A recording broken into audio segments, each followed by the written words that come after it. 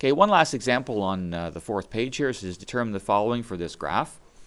And uh, here it says the limit as x tends towards negative 3, and this means, again, the left-hand limit. So we're approaching negative 3 from the left side. So that's where negative 3 is right there.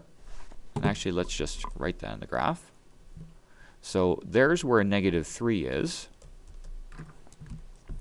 And so we're approaching, from, remember this means from the left side. That means it's negative 3, but that means it's from the left.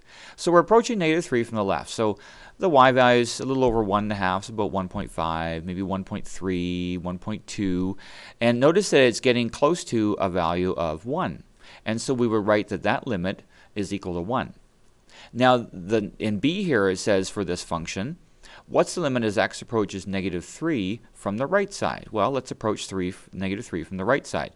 The, the y value is 0 there. It's about a half there, maybe about 0.7 or 8 there. Notice that it's, it's approaching the same dot. And so that limit is also 1 because from the right side we're also approaching 1. Now, because these two limits are both the same value, they're both 1, then we would say in C here the limit as x approaches negative 3 for this function is equal to 1.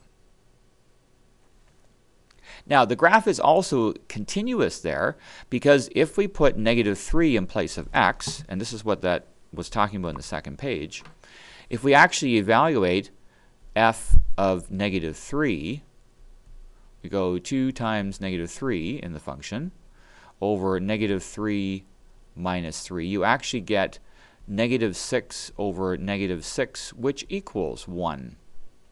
So because the function value is also equal to the right and left hand limits, then the graph is said to be continuous there.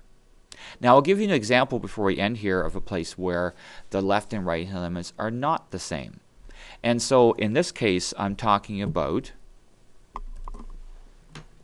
where x is 3. x is 3 here. This is actually a vertical asymptote. Remember, that's what that dotted line means.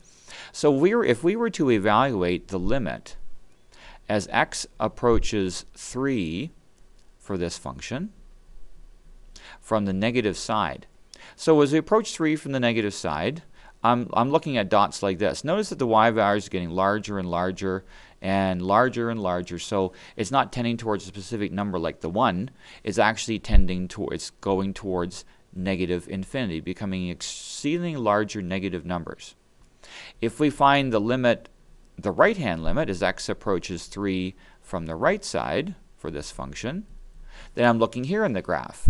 Okay, so x is actually 4 there, the y value is 7 uh, getting closer to 3, closer to 3. Notice the y values get larger and larger and larger.